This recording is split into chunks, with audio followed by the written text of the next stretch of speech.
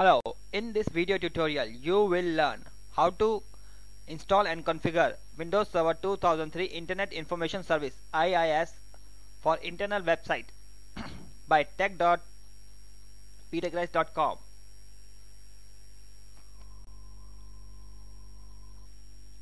Okay, on the server, log on to a log on with the administrative rights. Now, we strongly recommend you to see our previous video the video number 21 for further information. This is a part 2 of the series. Now go to start. First we have to install the IIS. so go to start control panel add and remove program add and remove windows component. On add and remove windows component select the application server click on details. As you can see internet information service. Click on internet information service. Click on details. Now we want the internet information service only. So we will keep this like this and then click ok. And then click ok. And then click next. Now it will it will prompt you for a CD of Windows Server 2003 I have already inserted the CD on, on this CD-ROM so it will won't ask me.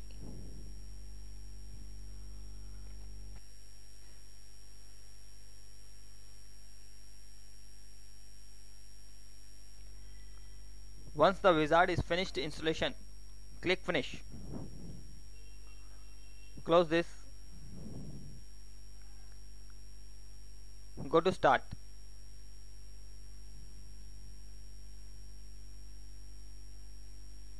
All programs administrative tools.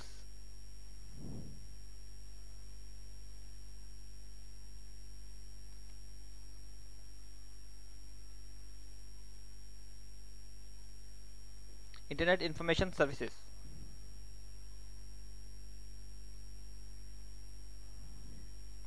on the internet information services you can see many many options. Application pool website and web service executions extensions. Now you will see when you click on the plus sign of the website you will see the default website is already there. But you want to create we want to create a new website. So right click on the website click on new and go to website. After clicking on the website click next. Type the description. Description can be anything which you want to put like HR department or any kind of department or any company name or something like that. Now let's put C double O L cool one O O N E now let's click next. Now this is the important part. Enter the IP address. Enter the IP address of the using website.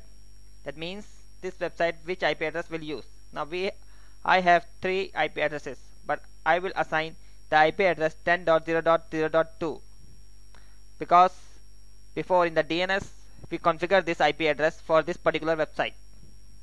Now I will click next now it is asking for a path for a website. Now to give a path first you need a website. Well I kept the website on the desktop. This is my website folder. All the content in the website is here. Now what I have to do is put this website into somewhere else. Let's say for drive E. I will open the drive E then I will go back to the desktop. Okay I will copy it. And then I will paste it in the drive E.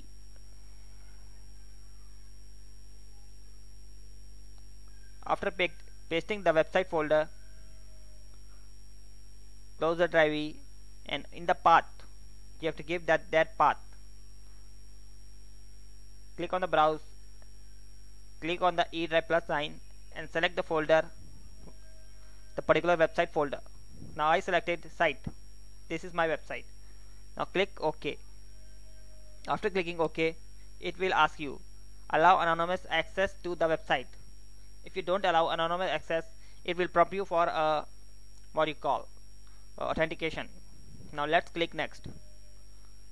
After that you can give a particular permission which you want to give now let's click next and click finish. Now as you can see all the content in the folder is showing here. Now after configuring this right click go to properties.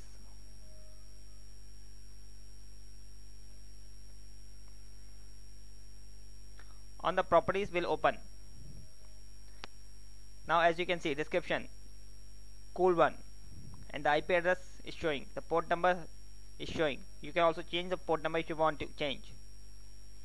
On the directory security you can put the authentication and all that stuff. After that click on the home directory folder. On the home directory folder it will show you. If you want to change the uh, website it will show you like that. Okay. Now let's click on the documents folder.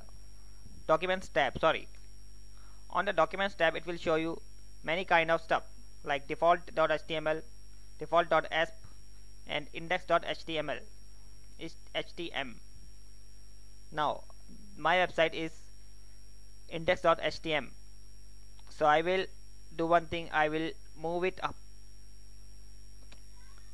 Okay. First after I have moved this HTML is up. Apply. Okay. Now let's check what is the extension of my main page? The extension of my main page is index.html so I have to add one more extension. To do that go to documents and click add and type index dot html click ok and move it up on the top. Apply. Ok now to open the website open internet explorer. Now in the internet explorer type the website name. The website name was www dot s a c h i n sachin s a m y samy dot c com now press enter. As you can see the website has been opened. Now this website can be opened by typing the IP address also. Let's type the IP address which I configure for this particular website. The, the IP address for this website was 10.0.0.2 now enter. As you can see the same thing has happened. Let's see it again. Internet Explorer and the IP address. IP address was 10.0.2 now press enter. As you can see it is opening by IP address and it is opening by the name.